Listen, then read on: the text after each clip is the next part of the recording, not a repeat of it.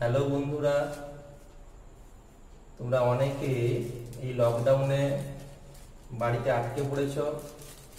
আমি অনেকের বাড়িতে যেতে পারিনি। তো এই জন্য তোমাদের সবার একটা অনুরোধ ছিল, স্যার আপনি লকডাউনে করান। লকডাউনে অনলাইনে কিছু পড়ান। আমরা তো স্যার বাংলা মিডিয়ামে পড়ি, বিশেষ করে যারা বাংলা মিডিয়ামের ছাত্ররা, তারা বলছিল ঠিক আছে? আমাদের জন্য অনলাইনে কিছু নেই। তো যাই হোক, তোমরা দেখেছ, আমি তোমাদের সবার কথা রাখার জন্য অনলাইনে আমি পড়াচ্ছি। এই চ্যানেলে ইউটিউব চ্যানেলটাতে আমি পড়াবো। তোমরা ফলো করতে থাকো। যেভাবে পড়ানোটাকে আমি ভেঙেছি, আমি ফার্স্ট থ্রি মান্থসের মধ্যে আমি তোমাদের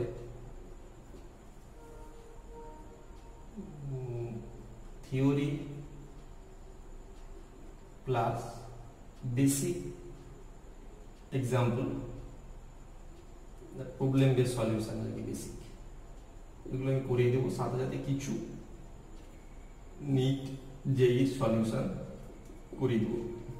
ফার্স্ট থ্রি মান্থস তারপর আমি পুরোপুরি চলে যাব প্রবলেমে পুরোপুরি আমি প্রবলেম বেস সলিউশনে গিয়ে তোমাদের যেই নিটের এইসবের জন্য আমি চলে যাব। তো এই যারা যারা এটা থিওরিটা পড়ে নিয়েছো যারা, তারা কিন্তু ফার্স্ট করার করে ভিডিওগুলো দেখতে পারো। যাই হোক, আর বেশি কথা বাড়াবো না। তোমরা তো অনেকেই আমাকে চেনো, নিজের আর পরিচয় দেওয়ার মতো কিছু নেই আমার কাছে। ঠিক আছে?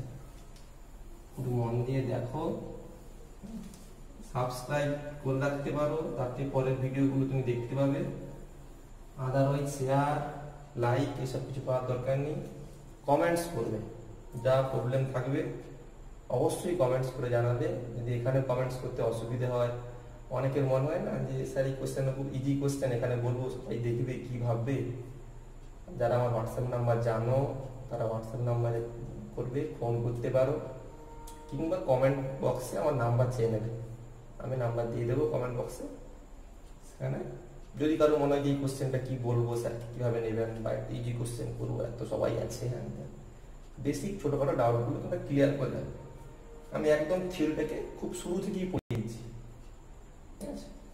ওদের ক্লাস ইলেভেনে ফার্স্ট যে চ্যাপ্টারটা আছে, বাংলা মিডিয়ামে সেটা হলো ভৌত জগৎ ও তার পরিমাণ এই চ্যাপ্টারটা আছে। এই চ্যাপ্টারটার অনেকটা অংশ তোমরা ক্লাস নাইনে পড়েছো। যারা বাংলা মিডিয়ামের স্টুডেন্ট যারা সিবিএসসি বোর্ড তারা পড়নি, তাদের জন্য একটা আলাদা ভিডিও আমাকে বানাতে হবে। আমি যেহেতু পুরোপুরি বাংলা মিডিয়ামকে ফোকাস করে এটা বানাচ্ছি, তোমরা দেখতে পারো। ঠিক আছে? তেমন কিছু অসুবিধা হবে অনেকটা কনসেপ্ট পেয়ে যাবে।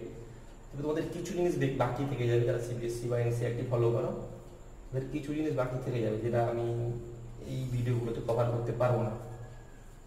যাই ভৌত তার পরিমাপ করতে গিয়ে আমরা ফার্স্ট খুললে এটা দেখতে পাবো ফার্স্ট কোশ্চেন আমাদের মাথার মধ্যে আসবে এবং তোমরা সবাই বইগুলো দেখতে পাবে হোয়াট ইজ ফিজিক্স সেটা একটা কথা বলা হচ্ছে। কি বলা হচ্ছে যে বিজ্ঞান, পদার্থ বিজ্ঞান কি?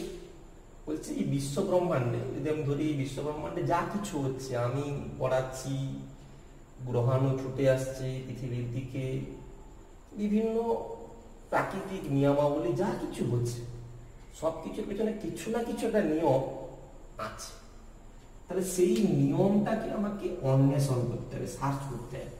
অন্বেষণ করা মানে সার্চ করতে হবে, খুঁজতে হবে। শুধু খুঁজে থেমে গেলে তো হবে না, সেটা নিয়ে সমষ্টিগতভাবে সমষ্টিগতভাবে আলোচনা করতে হবে। এবং সেই আলোচনাটা হবে নিয়মিত। মানে এই নয় যে আমি কিছু একটা নিয়ম বের করে ফেললাম, সেই নিয়মটাই একদম সারা জীবন ঠিক। তার মধ্যে কোথাও কিছু ভুল নেই, সেটাই একদম চিরন্তন সত্য। এরকম নয় সে আলোচনাটা ক্রমান্বয়ে সংশোধিত হতে থাকবে বা তার মধ্যে কিছু ভুল আছে কিনা খুঁজবো। এই পুরো ব্যাপারটা হচ্ছে আমাদের ফিজিক্স এক কথায় তোমাদের বই খুললে কি দেখতে হবে? প্রকৃতি এবং প্রকৃতি অনুষ্ঠিত বিভিন্ন ঘটনা সমষ্টিগত মানে কালেকটিভলি এবং নিয়মিত।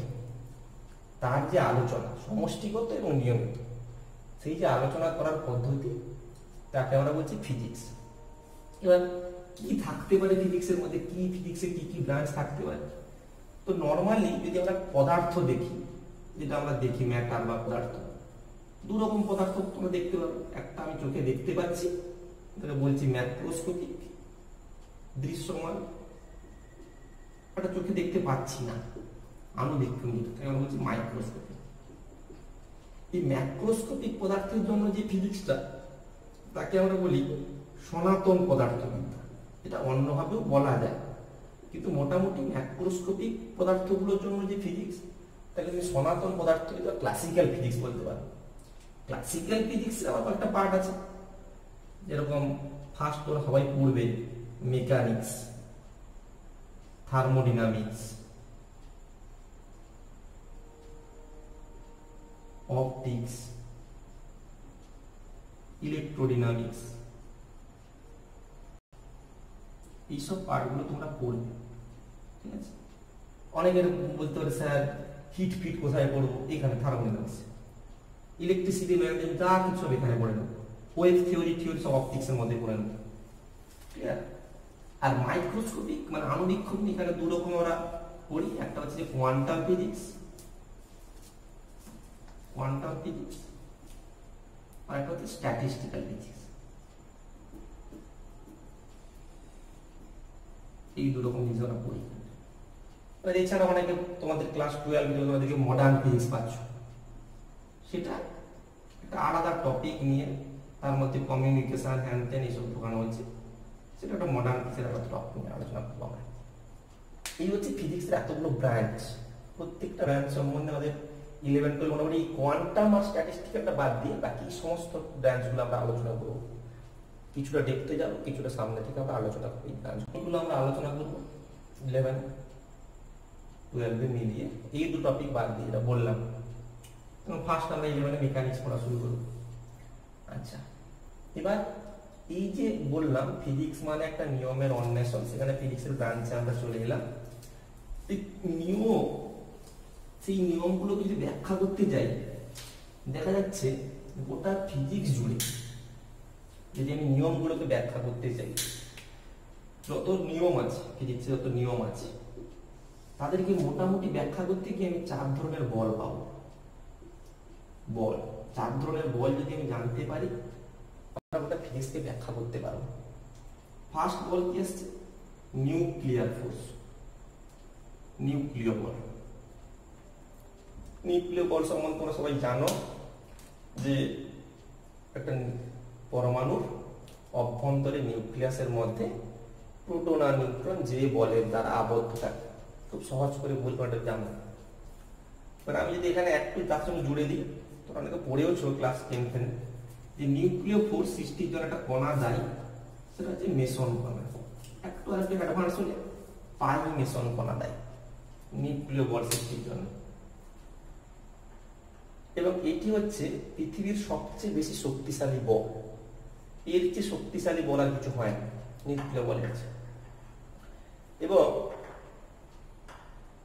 এই বলের সবচেয়ে বড় সমস্যা কি? এটা খুব short range force short range force মানে দেখা যাচ্ছে এই বল কেবলমাত্র পরমাণু নিউক্লিয়াস মানে তুমি যদি ধরো ten to the power minus fifty semi এই দূরত্বের বাইরে চলে গেলে এই বল কিন্তু আর কাজ করবে না। খুব শর্ট রেঞ্জ ফোর্স এবং খুব শক্তিশালী বল। আচ্ছা নিউক্লিয়ার ফোর্স নিয়ে আমরা আরও অনেক কিছু আলোচনা করতে পারব। পার্টিকেল ফিজিক্স যখন পড়বে তোমরা হায়ার স্টাডিতে নিউক্লিয়ার ফোর্স নিয়ে অনেক কিছু আলোচনা আছে। আমি এখন সেই দিকতে যাচ্ছি না। আমার এই চ্যাপ্টারে সেই টপিক আলোচনা করার মতো ব্যাপারও নেই। আচ্ছা এরপরে যেটা আসছে নিউক্লিয়ার ফোর্সের পরে, সেটা হচ্ছে ইলেকট্রোম্যাগনেটিক ফোর্স তড়িৎ চুম্বকীয় বল। নিউক্লিয় বল, তারপর আসছে তড়িৎ চুম্বকীয় বল। আমি কিছু কিছু টার্ম ইংরেজিতে লিখছি কারণ তোমাদেরকে অভ্যস্ত করানোর পরে আর কিচ্ছু না ঠিক আছে? তোমরা বাংলাতেই দেখবে, বাংলাতেই বুঝবে। আমি কিছু বাংলা, ইংরেজি মিশিয়ে মিশিয়ে বলছি, তোমাদের শুনতে অভ্যস্ত হবে। ঠিক আছে? তড়িৎ চুম্বকীয় বল। আচ্ছা। এরপরে যেটা আছে, তড়িৎ চুম্বকীয় বলে কিন্তু শর্ট রেঞ্জ ফোর্স নয়, অনেকটা দূরত্ব কাজ করে, একদম শর্টেজ প্রশ্ন যদি তুমি বলো যে এই বল সৃষ্টির জন্য স্যার এখানে যেরকম বললেন, পাই মেশন কণা দায়ী। এই বল সৃষ্টির জন্য কোন কণা দায়ী? তাহলে বলা যেতে পারে এই বল সৃষ্টির জন্য ফুটন কণা দেয়। ফুটন কণা। এই কণা এই বল সৃষ্টির জন্য দায়ী। বলতে পারে। কার মধ্যে এই দুটো বল কাজ করে? ইলেকট্রোম্যাগনেটিক ফোর্স তড়িৎচুম্বকীয় বল দুটো আধানগ্রস্ত বস্তুর মধ্যে এই বল কাজ করে। আচ্ছা এরপরে আসছে উইক ফোর্স আর দুর্বল বল। এটা কোথায় কাজ করে? উইক ফোর্স বলছি কেন? এই বলটা যেখানে প্রাথমিক কণার মিশ্রণ ঘটবে, যে সমস্ত রাসায়নিক বিক্রিয়া, যেরকম ধরো তুমি বলতে পারো বিটা কণা, বিটা বিঘটন, তোমাদের ভাষায় বললে বিটা বিঘটন। যেখানে বিটা বিঘটন ঘটছে, সেখানে কিন্তু উইক ফোর্স কাজ করছে, দুর্বল বল কাজ করছে। সর্বোপরি সবচেয়ে সবচেয়ে যেটা কম শক্তিশালী বল, সেটা হচ্ছে গ্রাভিটেশনাল ফোর্স গ্রাভিটেশনাল ফোর্স মহাকর্ষ বল। ঠিক আছে? এবার তুমি যদি মহাকর্ষ বল জানো, যে কোনো দুটি যে কোনো দুটি পদার্থ ভর আছে, তাদের মধ্যে মহাকর্ষ বল কাজ করে। আমি যদি বলি বিটা বিঘটন বা উইক ফোর্স সৃষ্টির জন্য কি কণা দায়ী? এটা অনেকে বলতে পারে স্যার উইক ফোর্স সৃষ্টির জন্য আপনি এটা বললেন মেসন কণা, এটা বললেন ফোটন কণা। এটা বলছে বসুন কণা দায়ী, বসুন পার্টিকেল টাইপস অফ বোসনও আছে, এই বোসন এবং এই দুটো। এই দুটো টাইপস অফ বোসন কিন্তু এই উইক ফোর্স সৃষ্টির জন্য দায়ী। আবার গ্রাভিটেশনাল ফোর্সকেও যদি আমি কণা দিয়ে ব্যাখ্যা করতে কোন কণা, এই মহাকর্ষ বল সৃষ্টির জন্য দায়ী। সেক্ষেত্রে একটা কণার নাম আসছে, সেটা হচ্ছে গ্রাভিটন। গ্রাভিটন কণাটা বলা হচ্ছে graviton.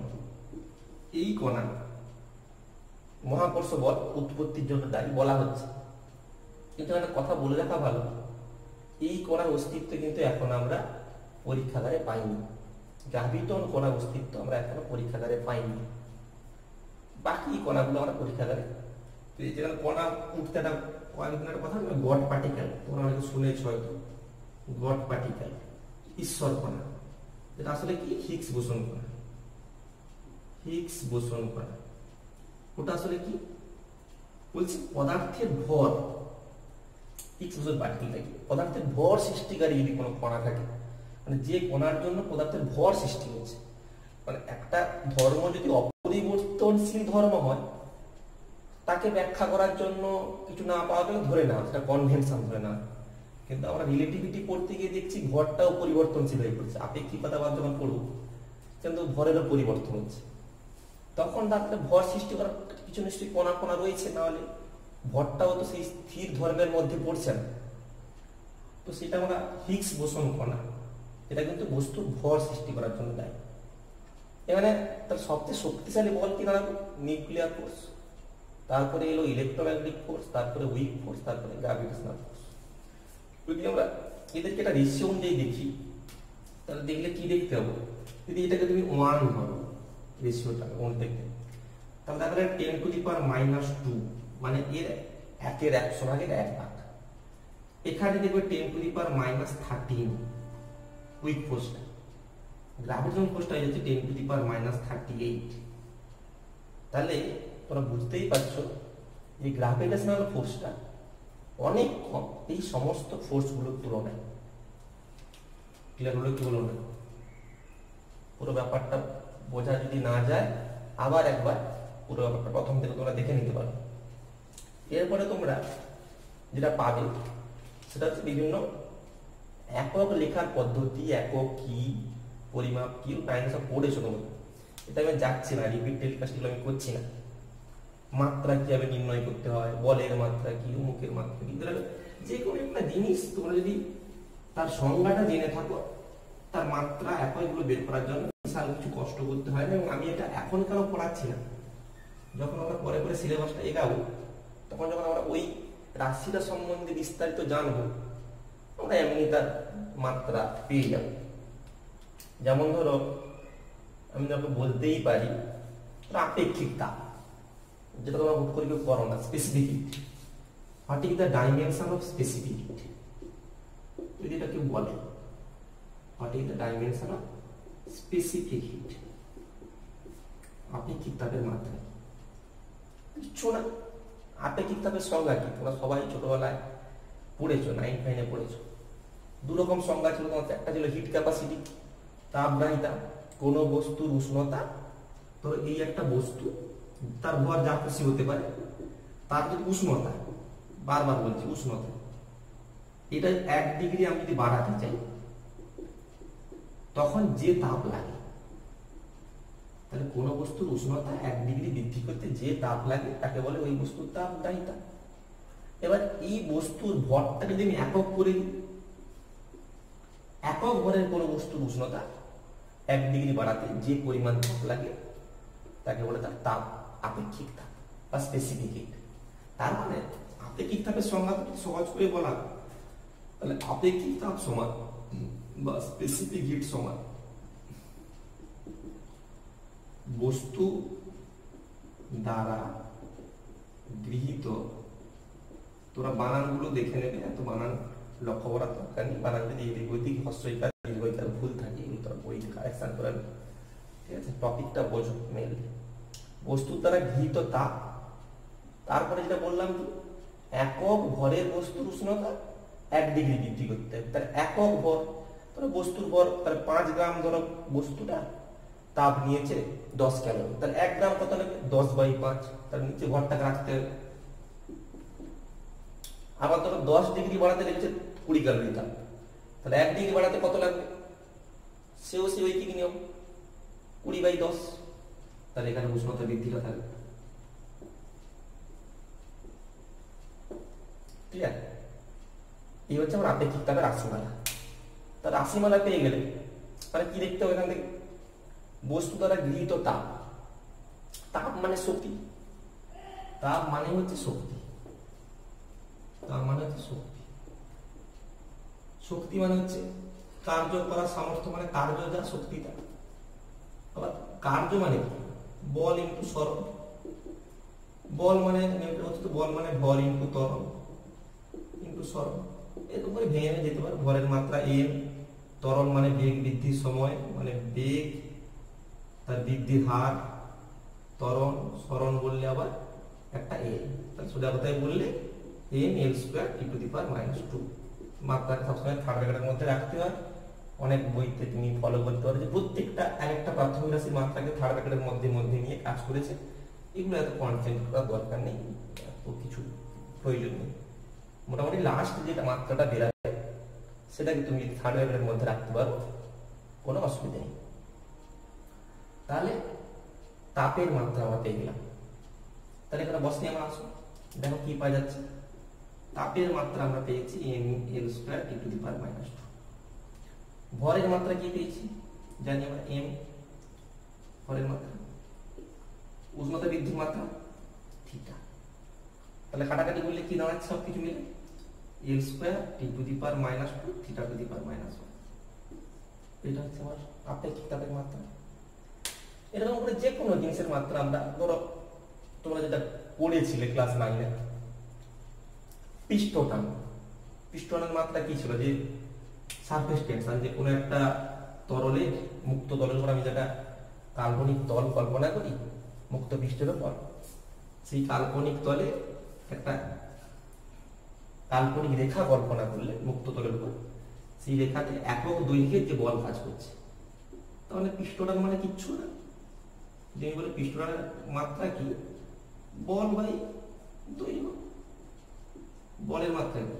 M L T to the power minus two এই দৈর্ঘ্য এম মানে M T to the power minus এই আর কি। যে কোনো রাশির মাত্রা বের করতে বললে খালি রাশির সম্বন্ধে জানতে হবে। সান্দ্রতাঙ্ক সান্দ্রতাঙ্কের মাত্রা কি?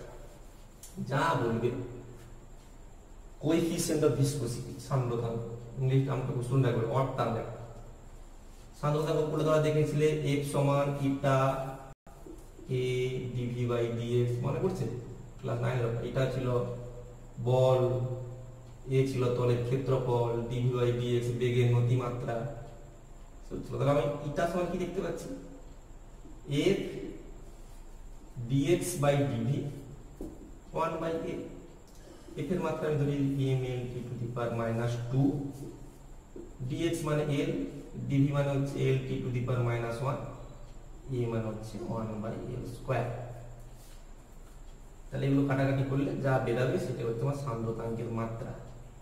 কাটাকাটিগুলো দেখে নেবে তোমরা। এই তো। এই এল এল যদি কেটে দেওয়া হয়, এখানে এল, এখানে স্কোয়ারটা উঠে যাবে। তাহলে কি দাঁড়াবে? থাকছে M, T to the power, L to the power minus one, T to the power minus যেটা থাকবে সেইটা হচ্ছে মাত্রা। সেরকম ওরা ক্লাস টেনে পড়েছিল সম্ভবত তাপ সেই তাপ পরিবাহিতাঙ্কের মাত্রা। তাপ পরিবাহিতাঙ্কের মাত্রায় যদি বলি, সেটা কি ছিল? তাপ পরিবাহিতাঙ্কের মাত্রা তোমাকে বললে, তুমি কি লিখবে? যে তাপ পরিবহনের হার কিউ বাই টি সমান K A theta two minus theta one by D. মনে পড়ছে? সে কে ছিল? আমার? এই কেটি ছিল আমার হচ্ছে পরিবাহিতাঙ্ক তার মাত্রা গেলে তোমরা সে একই হবে। তাহলে কে সমান Q into D by T A theta two minus theta. কিউর মাত্রা মানে শক্তি M L square T to the power minus two. D মানে লেন্থ টি মানে সময় এ মানে এল স্কোয়ার আর এটা থিটা মানে তোমার থিটা কাটাকাটি করবে, এখানে এল স্কোয়ার এল স্কোয়ার কেটে যাবে। তাহলে M L T to the power minus three theta to the power minus দেখো, ওইতে দেখবে অনেক মাত্রা আছে আটান্ন উনষাটটা মাত্রা আছে। মুখস্থ করার দরকার নেই। এই জিনিসগুলোকে জানতে হবে রাশিমালাটা জানতে হবে রাশিমালা তুমি একবার জেনে গেলে তখন তোমাকে দেখবে মাত্রা বের করার একটা ব্যাপার। যে কোনো রাশির মাত্রা তুমি খুব সহজে ইজিলি বের করতে পারবে। ঠিক আছে? ওটা তোমার এমনি দরকার নেই ঠিক আছে? আচ্ছা ডিসক্রিপশন বক্সে আমি নোটটা দেব। কিন্তু নোটটা যেহেতু অনেকটা পরিশ্রম করে এটা করতে হচ্ছে নোটটা হয়তো তোমাদের আমি কিছু ফিজ নিয়ে নোটটা হয়তো আমি দেবো, কারণ নোটটা হয়তো আমি ফ্রিতে দেবো না। ফ্রিতে যা করাচ্ছি এটা ফ্রি পুরো আমার চ্যানেল সাবস্ক্রাইবও করতে হবে না। সাবস্ক্রাইব তুমি করতে পারো, সেটা জাস্ট তোমার ওই নিজের পরপর ভিডিওগুলো পাওয়ার জন্য। শেয়ারও করতে হবে না লাইকও করতে হবে না, কিচ্ছু করতে হবে না। তুমি খালি পড়বে, ভালো লাগলে দেখবে ডাউট হলে জিজ্ঞাসা করবে। বাকি কাউকে কিচ্ছু করতে হবে না। ঠিক আছে? মানে ইউটিউব সংক্রান্ত ব্যাপারে তোমাদের মাথা ঘামাতে হবে। তোমরা খালি পড়ো। ফিজিক্স পড়তে এসে যদি ইউটিউব মাথা ঘামাতে হয়, তাহলে ফিজিক্স আর হবে না। অন্য কিছু হয়ে যাবে তোমরা। ঠিক আছে? তোমরা ফোকাস থাকো। কিন্তু ডিসক্রিপশন বক্সে আমি যে এটা দেবো, সেটা হয়তো কিছু আমি ওই নোটটা হয়তো কিছু আমি একটা ফিজ করব মিনিমাম একটা ফিজ করব। তোমরা সেই ফিজটা বিভিন্ন গুগল বা পেটিএম বা কিছু একটা দিয়ে দিলে তখন আমি সেন্ড করে তার স্ক্রিনশট দিলেই আমি সেটাকে হোয়াটসঅ্যাপে পাঠিয়ে দেবো। নোটটা এই চ্যাপ্টারের যে বেসিক্যালি থিওরিক্যাল নোট নাও নিতে পারবে এখান থেকে বুঝলেও হবে, কোনো অসুবিধা নেই। আর যদি মনে না স্যারের নোটটা নেব, তাহলে নিতে পারো নোটটা ওইটার জন্য আমরা বেসিক ফি আমি ফিক্সড করব। আচ্ছা বাকি সব ছিল। এরপর যেটা আমাদের খুব ইম্পর্ট্যান্ট লাগতো যেটা খুব সেটা হচ্ছে ডাইমেনশন অ্যানালাইসিস এটা আমার খুব দরকার ছিল। এটা আমরা পড়িনি ক্লাস নাইনে তাদেরকে আমি পড়িয়েছি। তাদেরকে আমি একটা এটা তোমাকে অনেকটা কনসেপ্ট দিয়েছিলাম ক্লাস নাইনে যারা তোরা নতুন, তাদের তাদের জন্য বলছি, এটা মাত্রা বিশ্লেষণ জিনিসটা ডাইমেনশন অ্যানালাইসিস মাত্রা বিশ্লেষণ জিনিসটা কি? কিছুই না যে কোনো প্রাকৃতিক রাশি। ধরো, বল, কেউ বলল বল। ওইসব লিখতে পারে বলে মাত্রা এফ এটাকে বলতে পারে ফোর্স তো, মাত্রা আমি ডিনোট করব। এরকম গেলে তো হাজার রাশি, হাজার মাত্রা চলে আসে। তাহলে তো ফিজিক্সটা এবার আরও জটিল হয়ে দাঁড়িয়ে তাহলে এই জিনিসটা কি আসলে? যে কোনো রাশিকে আমি প্রাথমিক রাশির মাত্রার মাধ্যমে প্রকাশ করব। যে কোনো রাশিকে আমি প্রাথমিক রাশির মাত্রাতে প্রকাশ করতে বল বলকে আমরা লিখছি এফ সমান, এফ এর মাত্রা হচ্ছে এম এল টি মাইনাস লিখছি তো আমি তার মানে তার মানে এই যে বলের মাত্রাটা লিখলাম, এটা হচ্ছে মাত্রা বিশ্লেষণ। বলের মাত্রাটা। আমি প্রাথমিক রাশির মা- প্রাথমিক রাশি আমরা জানি সাতটা প্রাথমিক রাশি ছিল। দৈর্ঘ্য, ভর, সময়, তড়িৎ প্রবাহ, উষ্ণতা, পদার্থের পরিমাণ দীপন প্রাবল্য। সেই সাতটা রাশির মধ্যে দিয়ে আমরা লিখলাম রাশি লাগে না খুব একটা সব জায়গায়। মোটামুটি দৈর্ঘ্য, ভর, সময় নিয়ে বেশি কাজ। কিছু কিছু জায়গায় দেখছি দেখতে পাচ্ছি উষ্ণতাটা লাগছে। কিছু কিছু জায়গায় পদার্থের মানে মোল যেটা, সেটা লাগে কিছু কিছু জায়গায়। বাকি বেশি দৈর্ঘ্য বর সময়, উষ্ণতা নিয়ে চলে। মোটামুটি মাত্রা সময় বোঝা গেল? এবার এই মাত্রার বিশ্লেষণ করে আমার কি লাভ? এখান থেকে পড়ে আমি তিনটে লাভ পাবো। এক হচ্ছে, কোন সমীকরণের সঠিকতা যাচাই।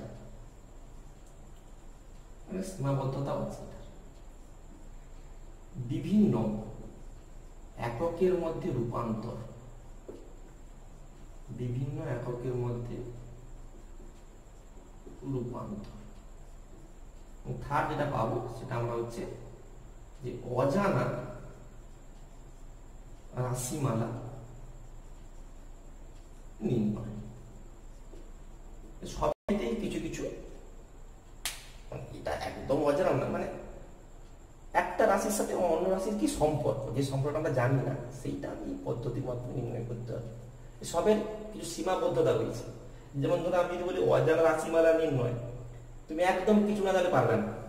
তোমাকে প্রাইমারিলি জানতে হবে ওই রাশিটি অন্য রাশিগুলোর উপর কীভাবে নির্ভর করে, কীভাবে না জানলেও কি কি রাশির উপর নির্ভর করে সেটা জানতে হবে। এটাতে কোনো সীমাবদ্ধতা নেই, এটা তুমি ঠিকঠাক পারবে। আবার সমীকরণের সঠিকতা যাচাই করতে গিয়ে দেখো যেসব সমীকরণে মাত্রাযুক্ত রাশির সাথে ধ্রুবক পদ থাকবে সেই ধ্রুবক পদের তো কোনো মাত্রা হয় না। তাহলে সেই ধ্রুবক পদ থাকা যা না থাকা তা। তাহলে একটা সমীকরণ সঠিক কিনা, তার একটা সিম্পল আমি বললাম। A equal to U T plus half A T square এই সমীকরণটা আমি দেখি এটা মাত্রাগত হবে ঠিক? আবার এই সমীকরণটাও মাত্রাগত হবে ঠিক। আমি হাফটা দিন দুটো সমীকরণই মাত্রাগত হবে ঠিক। কিন্তু আমরা জানি এই সমীকরণটা হয় না। এটা আমরা সবাই জানি যে সিম্পল টু হাফ হয় না। এটাই হয়, ঠিক। তাহলে এই পার্থক্যটা আমি মাত্রা বিশ্লেষণ থেকে বুঝতে পারব না কিন্তু। পসিবল না। কীভাবে এর আমরা করি এগুলো সব? ছোট করে দেখিয়ে দিই জিনিসটা, কি করে করো তোমরা ফার্স্টে লেখো ডাইমেনশন অফ এস মানে সরণের মাত্রা। সরণের মাত্রা এর লেখা এগুলো। ডাইমেনশন অফ ইউটি ইউটির মাত্রা বললে, বেগের মাত্রা হচ্ছে L T to the power minus one সময়ের মাত্রা টি কাটাকাটি করলে দাঁড়িয়ে যাচ্ছে এ আবার dimension of half A square যদি বলা হয় হাফের তো কোনো মাত্রা হয় না ওয়ান ধরে নিতে পারো এর মাত্রা হচ্ছে L T to the power minus two T স্কোয়ারের মাত্রা এটা। তাহলে এখানেও চলে আসছে অনেকের মাথার মধ্যে কাজ করছে। স্যার, তাহলে এইদিকে যদি এল হয়, ঠিক বুঝে দিলাম এল এইচএস এর ডাইমেনশন আর এল বলে দিলাম। আর এইচএস ডাইমেনশন কি হলো? এল প্লাস এল আর অনেকের মধ্যে এটা টুয়েলভ মনে হতে পারে। কিন্তু মাত্রার যোগ এরকম হয় না। এল প্লাস এল টুয়েলভ মাত্রার যোগে এল প্লাস এল এলই হয়। ঠিক আছে? অনেকে বলে থাকেন যে তাহলে টুয়েলভ টু তো একটা মাত্রা নেই টু তাহলে সেটা বাদ ছিল লেগে গেল ব্যাপারটা তা নয় মাত্রার যোগে এটাই আছে একটা মাত্রাই আছে। এখানে বীজগাণিতিক যোগের নিয়মটা ফলো হচ্ছে না আবার এই সমীকরণের সঠিকতা যাচাই করতে গিয়ে একটা জিনিস তাহলে বোঝা গেল, দেখো। তাহলে কোন সমীকরণের সঠিকতা আমি কেউ যাচাই করছি? একটা সমীকরণের বাম দিকের মাত্রা দিচ্ছি, ডান দিকের মাত্রা দিচ্ছি। এই যে একটা কোন সমীকরণের বাম দিকের মাত্রা এবং ডান দিকের মাত্রা সমান করে সঠিকতা যাচাই করছি, এইটিকে বলে মাত্রার সমমাত্রিক নীতি। মাত্রার সমমাত্রিক নীতি। নীতিটা কি? কোন একটা সমীকরণের বাম দিকের মাত্রা মানে সমান চিহ্নের বাম দিকের মাত্রা, এই দিকের মাত্রা এবং এই দিকের যে সমস্ত রাশি থাকবে, তাহলে সবার মাত্রা কি হতে হবে? সমান হতে হবে। যাদের মনে হচ্ছে যে পড়ানো স্পিডে হয়ে যাচ্ছে, তারা ভিডিও স্লো করে দেখবে। যাদের মনে হচ্ছে পড়ানো স্লো হয়ে তাদের ভিডিও ফাস্ট করে দেখবে। ঠিক আছে? টপিকগুলো তো খুব একটা যে আনইম্পর্টেন্ট তা? না জানতে হবে, না জানলে কিন্তু বেসিক্যালি আটকে যাবে। তোরা বললাম বিভিন্ন এককের মধ্যে রূপান্তর যদি আমি এটাতে আসে তাহলে এই ব্যাপারটা ক্লিয়ার করলাম যে কোনো সমীকরণ তোমরা হোমওয়ার্ক করবে প্রত্যেকে, যে এটা তোমরা হোমওয়ার্ক করবে তো দেখি সঠিকতাটাই হচ্ছে কিনা? V square equal to U square plus two S আমার কমেন্টে জানাবে। কিংবা V equal to U plus A T খুব কিন্তু তোমাদের আমি দিচ্ছি। যেগুলো খুব সোজা, তোরা ছোটবেলায় পড়ে এসছো যেগুলো। যে এই সমীকরণগুলো মাত্রাগতভাবে সঠিক কিনা? তোরা কমেন্ট করে করে দেখতে পারো। বিভিন্ন এককের মধ্যে রূপান্তর। তো আমি বললাম এইটা করার জন্য কি চাই? আগে আমাকে জানতে হবে যে আমি কার একক নিয়ে কাজ করছি, তার মাত্রাটা জানতে হবে। মানে ধরো আমি বললাম উদাহরণ দিয়ে দেখি। ধরো এইটা আমার সিজিএস ইউনিট সিজিএস ইউনিটের ঘর। এইটা আমার এসআই ইউনিটের ঘর। এই পদ্ধতিতে কি করা হয়? আমি ধরে নিচ্ছি সিজিএস ইউনিটের দৈর্ঘ্যের একক এম ওয়ান। সরি ভরের একক এম ওয়ান দৈর্ঘ্যের একক এল ওয়ান সময়ের একক টি ওয়ান। এসআই পদ্ধতিতে একই রকম দৈর্ঘ্য সরি ভর দৈর্ঘ্য আর সময় এদের এককগুলি হলো যথাক্রমে M two L two T two. এবার এটি কি বলছে? বলছে N one M one to the power L one to the power T one to the power C সমান M two M two to the power A L two to the power B T two to the power C sir A B C কি? N one কি? N two কি? এই প্রশ্নগুলো মাথার মধ্যে এখন আসছে। এইটি হচ্ছে সূত্রটি বলে দিলাম। যদি আমি ইউনিটে ধরে নিই, এগুলো মাত্রা, কিন্তু আমি এখানে একক হিসাবে ধরেছি। বারবার বলছি। এগুলো মাত্রা ধরি আমরা। সবসময় ক্যাপিটালগুলো বড় এম ওয়ান বড় এল ওয়ান বড় মাত্রা ধরি আমি ছোট এম ওয়ানগুলো কিন্তু এগুলো জাস্ট একক হিসেবে ধরেছি সবগুলো।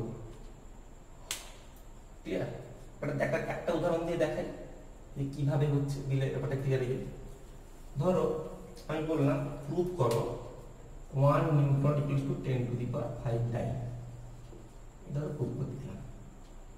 কে করবে?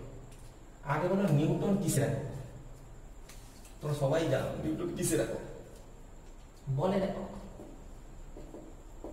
তাহলে বলের মাত্রা আমরা জানি নিউটন বলে বলের মাত্রা M L T to the power minus তাহলে এইখান থেকে যেহেতু এম এর পাওয়ার ওয়ান মানে এ হয়ে গেল ওয়ান এল এর পাওয়ার ওয়ান মানে বি হয়ে গেল ওয়ান টি এর পাওয়ার মাইনাস টু সি হয়ে গেল মাইনাস টু তাহলে যে এবিসি তোমরা এখানে খুঁজছিলে বোধ কেসে দুদিকে সেই এবিসির মান তোমরা পেয়ে গেলে। ক্লিয়ার তারপরে দেখো, নিউটন কোন পদ্ধতি? এসআই পদ্ধতিতে। আমার যে এন টুর মান, তাহলে আমি পেয়ে গেলাম ওয়ান দেওয়া আছে। আমাকে বের করতে হবে কি? এন ওয়ান এইটা আমার কোশ্চেন মার্ক বের করতে আমি এই ফর্মুলায় বসিয়ে দিব। কি আসছে দেখো ফর্মুলায় বসি তাহলে N one M one to the power a মানে এম ওয়ান থাকবে। এল ওয়ান বি তো ওয়ান, কিছু করল না। T one, minus two. M টুটা হচ্ছে এক। M two, L two, T two the power minus two. তাহলে N one equals to one তো ছেড়ে দাও। M two by M one whole to by কিচ্ছু হবে না। L two by L one whole to the power one. T two by T one, minus two. বা M two কিসি unit SI unit তাহলে আমাকে পুরোটা ডান দিকে কিসে আনতে হবে সিজিএস আনতে হবে। তাহলে ভরের এসআই এখন কি হয়? কেজি। এম ওয়ান তো সিজিএস এর লোক গ্রামে আছে। L two metre. এ তো সিজিএস এর লোক এল ওয়ান সেমিতে আছে। টি টু এ তো বাবু এও সেকেন্ডের লোক এও সেকেন্ডের লোক। ফলে এর কোনো এফেক্ট নেই ওয়ান ওয়ান ছেড়ে দাও। এক কেজি মানে কত গ্রাম? হাজার গ্রাম। এবার নিচু। গ্রাম হয়ে গেছে, উড়িয়ে দিলাম। দুটো সেমি চলে এসছে।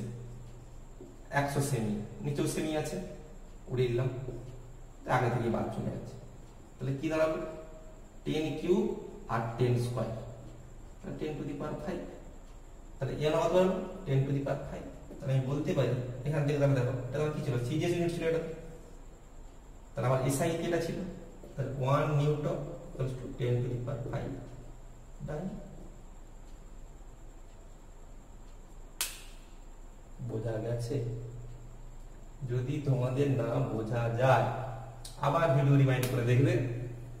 কিংবা নোটটা কালেক্ট করবে নোটে আর একটু ডিসক্রাইবলি করা থাকতে পারে।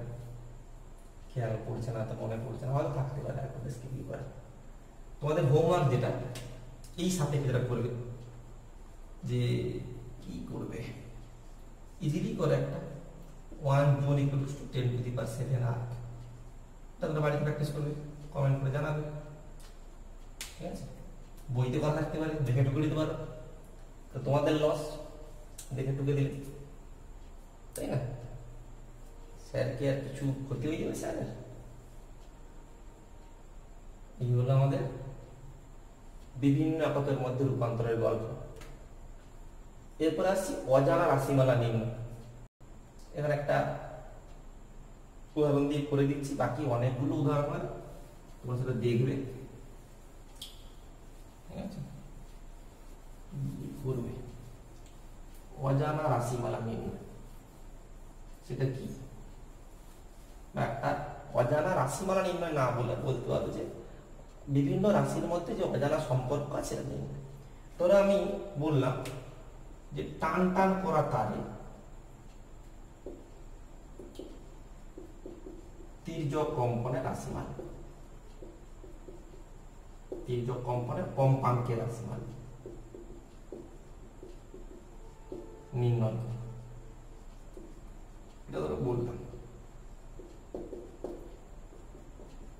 এটা একবার তোমাদের বোর্ড এক্সামে এসছে ওই প্রশ্নটা কিন্তু এক দুবার এসছে বেশি আসে আচ্ছা তাহলে আমাকে না জান- জানতে হবে টান টান করা টান কি দুটো, দুদিকে দুটো আমি যদি দৃঢ় বস্তুর মাঝে একটা তারকে টেনে দিই, তাকে টান টান করা তার বলে ইংরেজি থেকে কি বলে? স্ট্রিং স্প্রিং নয় কিন্তু, স্প্রিং মানে আমার বসন্তকাল হয়ে যায়। এই বসন্তকাল যদিও নয় স্প্রিং মানে হচ্ছে এই যে আচ্ছা আমার থেকে ভালো জানে যেগুলা। যাই এটা স্ট্রিং। পিআরটির মধ্যে অনেক ডিফারেন্স তাই না তাহলে এই টান টান করা, তাহলে কি হবে? আমি এখানে হ্যামারিং একটা হাতুড়ি দিয়ে বা তোরা অনেক গিটার ফিটার বাজিয়ে সই তাহলে কি হবে? এটা এরকম তির্যক কম্পনে কম্পিত হইতে থাকিবে। হইতে হইতে বিভিন্ন কম্পাঙ্কের সুর সৃষ্টি হবে? শব্দে পড়াবো পরে। এটা আমি একটা সিঙ্গেল লুপ দেখিয়েছি, দুটো লুপ তিনটে লুপ তারপরে গিটার বাজাও। দেখেছ? বাম হাতের যেখানে আঙুলটা ছোঁয়াবো, সেখানেই লুপটা সৃষ্টি ডান হাতটা খালি হ্যামারিং করার জন্যই আছে। আর কোনো কাজের জন্য ডান হাতে নেই। তাহলে এখানে যদি আমি দেখি, কম্পাঙ্ক, তাহলে এন দিয়ে বলি, সেটা কার কার উপর নির্ভর করে? ফার্স্ট বলছে তারের টান। তারটা কত জোরে টানা মানে গিটারের ক্ষেত্রে দেখেছ যত ভালো টানা থাকবে, তত তার তীক্ষ্ণ সাউন্ড বেরাবে মানে ইন্টেন্সিটি অর্থাৎ তীব্রতা বেড়ে যাবে। এক, দুই তারের দৈর্ঘ্য।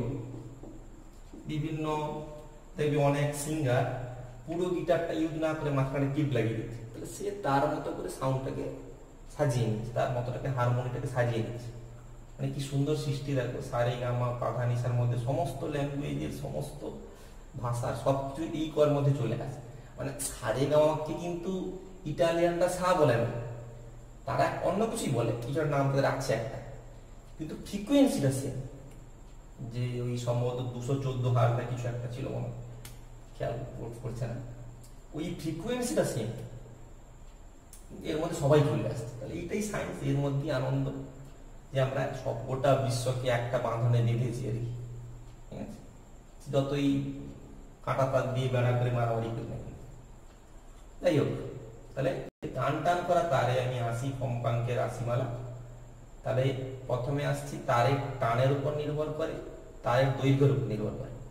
এবার তোমরা লক্ষ্য করে দেখেছ হয়তো গিটার অনেকে, কিছু সরু তার থাকে, কিছু মোটা তার থাকে। তার মানে এই তারটার একক দৈর্ঘ্যে কি ভর? সরু হলে একক দৈর্ঘ্যে ভর কম হবে, মোটা হলে একক দৈর্ঘ্যের ভর বেশি হবে। তাহলে তারটি একক দৈর্ঘ্যের ভরের উপর নির্ভর করে। সরু তার একরকম ফ্রিকোয়েন্সি হয়, মোটা তারে এক- একরকম ফ্রিকোয়েন্সি এই তিনটে জিনিসের উপর টান টান করা তারে তীর্থ কম্পাঙ্কের নির্ভর স্যার, আপনি কোথেকে জানলেন? এটা তোমাকেও জানতে হবে না জানলে তুমি এই রাশিমালা নির্ণয় করতে পারবে না। এটাই হচ্ছে মাত্রা বিশ্লেষণের সীমাবদ্ধতা মানে মাত্রা বিশ্লেষণ লিমিটেশন তুমি না জেনে এগাতে পারবে না। এবার এইখান থেকে আরও অনেক লিমিটেশন বের করব। এটা একটা লিমিটেশন বললাম, যেটা তুমি বের করতে পারবে না যদি না জানো। এবার টান, দৈর্ঘ্য আর একক দৈর্ঘ্যের পর কীভাবে নির্ভর করে জানতে হবে শুধু কার কার উপর নির্ভর করে জানলেই হবে। ঠিক আছে? এবার এটা আমি যে বলি, যে আমি জানি না কীভাবে নির্ভর করে, তাহলে কি হবে? তাহলে কি অঙ্কটা পারব? আমি ধরে নিলাম, এই যে কম্পাঙ্কটা নির্ভর করে টান আমি ধরো টি দিয়ে লিখলাম tension T to the power X দৈর্ঘ্য length L L to the power Y একক দৈর্ঘ্যের ভর একে লেখা হয় মিউ দিয়ে। অনেকের বইতে স্মল এম দিয়ে লেখা যা খুশি লিখতে পারো। Mu to the power Z clear তাহলে और n equals to k t to the power x l to the power y mu to the power z k क्या है সমানুপাতিক ধ্রুবক ছোটবেলায় পড়েছো সমানুপাতিক ধ্রুবক ভেদ অভেদ কত কি করে লিখে দিই আচ্ছা তাহলে এবার যদি মাত্রা বিশ্লেষণ করি মাত্রা বিশ্লেষণ করিয়া পাই গুরু চন্ডালী দোষ হয়ে গেল, করিয়া। আছে? তাহলে এন মানে কম্পাঙ্ক। মাত্রা কি? কম্পাঙ্ক পড়েছ? ওয়ান বাই পর্যায়কাল। কম্পাঙ্ক সমান। তাহলে এর মাত্রা কি দাঁড়াবে? One by T. কে তো কোনো মাত্রা নেই। টান মানে বল। টান যা বল pushing and pulling of an object is called force ছোটবেলায় পড়েছ। ক্লাস এইট টানা বা ঠালা কোনো বস্তুকেই বলা হয় বল। তাহলে মাত্রা কি হবে? M L T to the power minus two sir, আমরা মাত্রা জানি না না জানলে ইলেভেন টুয়েলভে ফিজিক্স পড়া ছেড়েই দেবে। তাই না? কিছু না জেনে কি সায়েন্স পড়া যায়? হয় না। কিছু না জেনে একদম সায়েন্স পড়া স্যার আপনি এরকম করে বলছেন অসম্মান করাচ্ছেন অসম্মান করাচ্ছেন যদি না জেনে থাকো, জানতে হবে। আবার ঘুরে পড়তে হবে। মুখস্থ করতে হবে কিছু জিনিস। সব যদি তুমি ভাবো আমি ইলেভেনে বসে বসে একদম লাইন বাই লাইন বুঝে বুঝে বুঝে বুঝে এগাবো, হবে? না তাহলে তো ইলেভেনই সব বুঝে তাই না? তাহলে কানে হয়ে গেল লেন্থ এল ক্যাপিটাল এল দিব। মিউ, একক দৈর্ঘ্যে বল। ধরলাম আমি দৈর্ঘ্যটা কত ধরলাম? লেন্থটা ধরলাম এল টোটালটার মাস ধরলাম এম তাহলে এল এর মাস এম এল দৈর্ঘ্যের তাহলে একক দৈর্ঘ্যের মাস কত হবে? এম বাই না, বোঝা গেলই গেল। বোঝা গেছে? তাহলে এটা হবে এম বাই এবার খালি পাওয়ারগুলো বসিয়ে দাও। কি কি ছিল? কোনটা কোনটা পাওয়ার কি ছিল বসিয়ে দাও। টি এর উপরে ছিল সম্ভবত এক্স এটা ছিল ওয়াই এটা ছিল জেড তাহলে এখানে ধরো T to the power minus one M to the power এখান থেকে হলো এক্স এখান থেকে হলো Z L to the power এখান থেকে হলো এক্স এখান থেকে হলো ওয়াই এখান থেকে হলো মাইনাস জেড ওপরে পাওয়ারটা মাইনাস হয়ে টি টু দি পাওয়ার এখান থেকে হলো মাইনাস টু এক্স কোথাও কিছু নাই এবার উভয় দিকের মাত্রা আমি যদি দেখি মাত্রা এগুলো যদি সমান করি, তাহলে কি পাবো? এক্স প্লাস জেড এদিকে তো এম নেই মানে আমি লিখতে পারি M to the power zero L নেই লিখতে পারি L to the power zero তাহলে X plus Z equal to zero number one equation X plus Y minus Z equal to zero এটা number two equation minus two X equal to minus one और x equals to half এটা equation number 3 putting the value of equation number 3 in equation 1 কি পাওয়া যাবে x plus z equals to 0 half plus z equals to 0 z equals to minus half then এখানে বসিয়ে দাও, putting the value of x and z in equation 2 half Y এটা অনেক জায়গায় অনেক ছেলে মেয়েরা এটা ভুল করে। এটা মাইনাস মাইনাসে প্লাস হয়ে যাবে। সব এখানে সে ওয়াই জিরো বেরিয়ে সবাই তাহলে Y plus one equals to zero Y equals to minus one তাহলে কি কি ভ্যালুগুলো পেলে দেখবে? এক্স হাফ পেয়েছ জেড মাইনাস হাফ পেয়েছ ওয়াই মাইনাস ওয়ান পেয়েছ কি ধরেছিলে? এন ইকুয়ালস টু কি ধরেছিলে?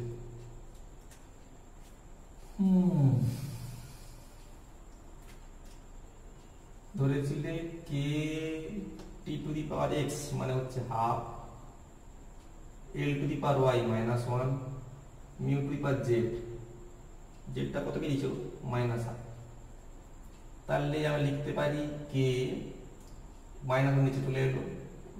পাওয়ার হাফ মানে উপরে আছে পাওয়ার মিউ মানে মানে নিচে আছে। তাহলে সুদা কথা লিখলে K by L root over T by mu. এবার মাত্রা বিশ্লেষণ এক দূর অব্দি বলতে পারে। এরপর আর বলতে পারে কি কিন্তু আর নয়। দেখতে আর এর মতো কিন্তু কে মাত্রা বিশ্লেষণ তোমাকে এত দূর অব্দি দেবে, এরপরে তোমাকে দিতে পারবে না কিছু। তুমি যদি পরীক্ষা করো, তাহলে দেখতে পাবে এই কে এর মান। এই কে এর মান হচ্ছে হাফ তাহলে কম্পাঙ্কের রাশিমালা কি হলো? ওয়ান বাই টু এর root over T by mu এইটি হলো আমার কম্পাঙ্কের রাশিমালা। কোন পদ্ধতিতে পেলাম? মাত্রা বিশ্লেষণ পদ্ধতিতে।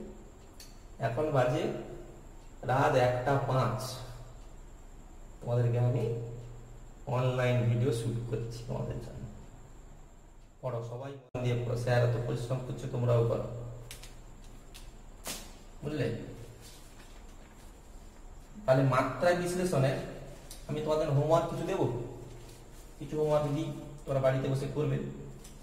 তোমরা তাহলে সরল দোলকের পর্যায়কাল তাহলে এইটা তাহলে আর দুটো অব্দি হলো। অনেক রাত হয়ে গেছে। তাই না?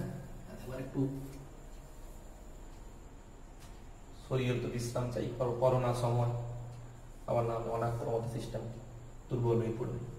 তো এটা একটু হোমওয়ার্কটা দিয়ে দিব। হচ্ছে সরল দোলকের পর্যায়কাল। তার রাশিমালা বের করবে। টি সমান two pi root over L by G মাত্রা বিশ্লেষণের সাহায্যে বের করবে। কিংবা একটা খুব বেশি আসছে, সেটা হচ্ছে যে সংকট বেগের রাশিমালা তোমরা এটা যে কোনো বই অনুশীলনীতে পাবে কোশ্চেনটা ভিসি সমান কে ইটা বাই রো আর এই রাশিমালাটা বের করা আর সংকট বেগের রাশিমালা। এই দুটো তোমরা করে বা স্টোকস ল স্টোকস ল করতে হবে। A equal to six pi eta R B এই গ্রুপটাও তোমরা করতে পারো। এরকম তিনটে হোমওয়ার্ক দেওয়া থাকবে তোমরা করে দেখবে। এই মাত্রা বিশ্লেষণ করতে পারছ কিনা। আচ্ছা আর একটা বলে দিই, দিলে আজকের ভিডিওটা এখানে স্টপ করব। বাকিটা পরের পার্টে আমরা আলোচনা করব। প্রবলেম নিয়েও। যে এই মাত্রা বিশ্লেষণ অসম্পূর্ণ তাহলে কি কি থাকবে? তাহলে একটা হচ্ছে কোন কোন বিষয়ের উপর না যা নির্ভর করে তা না জানলে আমি বের করতে পারব না। এক। দু নম্বর, ধরো যদি কোথাও এমন ধ্রুবক থাকে যে ধ্রুবকের মাত্রা রয়েছে, তখন সমস্যা হয়ে যাবে। তো আমরা পড়েছি সমান বাই মহাকর্ষ সূত্র পড়েছি। এই জি তো মাত্রাহীন নয়। তো নিজস্ব মাত্রা রয়েছে। এই রাশিমালাটা কিন্তু এই পদ্ধতিতে বের করতে পারব না। আবার যদি দেখো W equal to S cos theta এই কস থিটা তো মাত্রা নেই। তার মানে ডব্লিউ ইকুয়াল টু এস যা এস কস থিটা হতো তাহলে এই দুটো সমীকরণের মধ্যে পার্থক্য কিন্তু আমি মাত্রা বিভাগ করতে পারব না। মানে এই সমীকরণটি আমি কস থিটা বা যেগুলো থিটা লগারিদম এইসব টার্ম যখন থেকে যাবে কোনো সমীকরণে, সেই সমীকরণ কিন্তু আমি মাত্রা বিশ্লেষণ পদ্ধতির সাহায্যে নির্ণয় করতে পারব না। ঠিক আছে?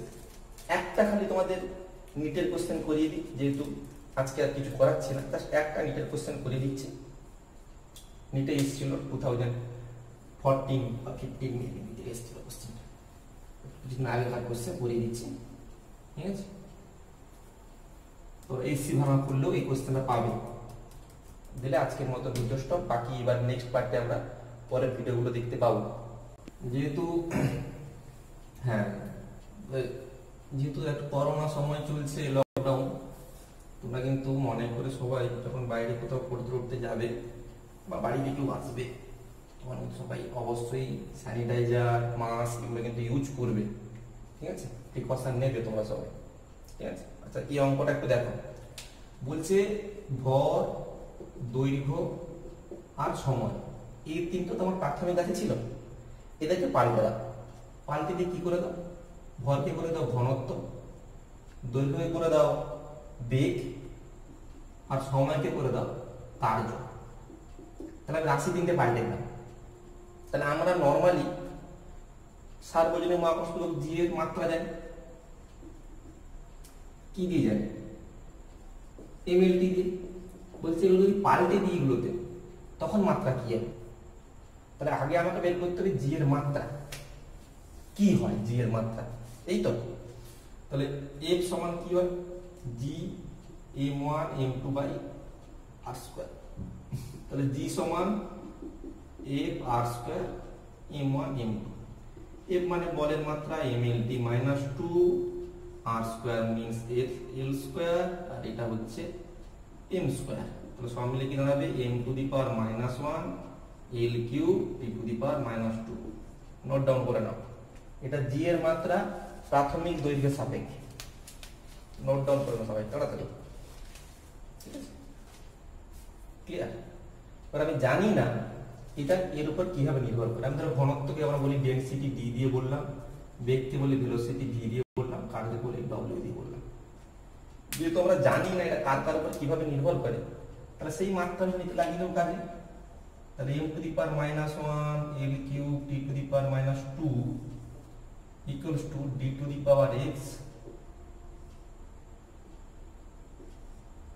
V to the power Y W to the power Z ঠিক আছে? M to the power minus one L cube T to the power minus two D মানে কি? ডেন্সিটি ঘনত্ব। ঘনত্ব কি হয়? ভর বাই আয়তন এম বাই এল কিউব মানে M L to the power minus three to the power X বেগ কি হয়? L T to the power minus one to the power Y clear কার্য কি হয়? আজকে বহুবার বলেছি কার্য বল ইন্টু সরল এটা টু দি পাওয়ার জেড হয়েছে? অন্য কালারে লিখতে খুব ইজিলি বুঝতে পারবে বলে। তাহলে এম টু দি পাওয়ার কি হবে? এখানে হচ্ছে এক্স এখানে two Z L to the power কি হবে? Minus three X plus Y plus two Z দেখে নেবে একটু এগুলো। T to the power minus Y minus two Z দেখে নেবে ঠিকঠাক লিখেছি কিনা। ঠিক আছে? তাহলে কম্পেয়ার করে দাও। তাহলে কি হবে? x plus two Z equals to পাবে minus one minus three X plus Y plus two Z equals to পাবে three minus Y minus two Z equals to পাবে মাইনাস টু এবার এই সমীকরণ তিনটে আমি যদি সলভ করি, তাহলে কি হবে?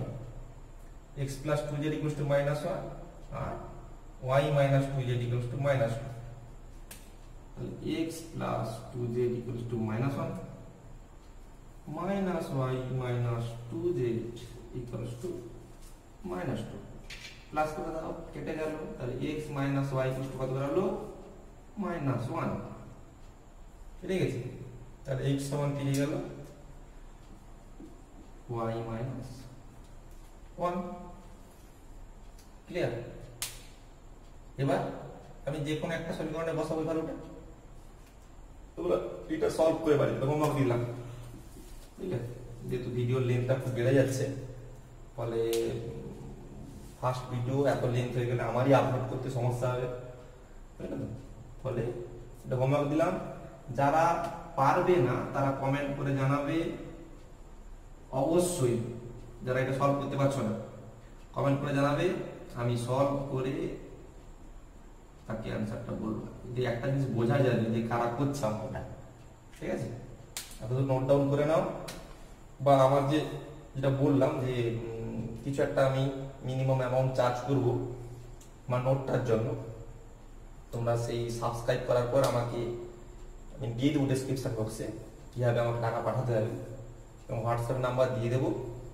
সেই নাম্বারে টাকা পাঠিয়ে হোয়াটসঅ্যাপে স্ক্রিনশট দিলে পেমেন্টে আমি কিন্তু তোমাকে নোটটা দিয়ে দেবো। আদারওয়াইজ তোমরা এখান থেকে নিতে পারো। ঠিক আছে? আচ্ছা আজকে আমাদের এই অবধি থাক। নেক্সট ভিডিওতে আমরা এইখানকার আর কোনো ম্যাথে যদি তোমাদের ডাউট থাকে হয়তো কমেন্ট করে জানাও, বলব। পুরো সবাই আবারও বলছি, বারবার বলছি মাস্ক পরবে মাস্ক পরে বাইরে বেরোবে। যত কষ্ট হোক মাস্ক পরে বাইরে বেরোবে। বারবার স্যানিটাইজার ইউজ করবে, বারবার সাবান দিয়ে হাত ধুবে। যতটা সম্ভব প্রিকশন নেওয়া যায়, নেবে, চোখে মুখে হাত দেবে না। ঠিক আছে? নিজেকে পরিষ্কার পরিচ্ছন্ন সময় খাওয়া দাওয়া করে, বেশি রাত জেগে পড়বে না। ঠিক আছে? সময় খাওয়া দাওয়া করে। ঠিক আছে, আজকে আপাতত গুড নাইট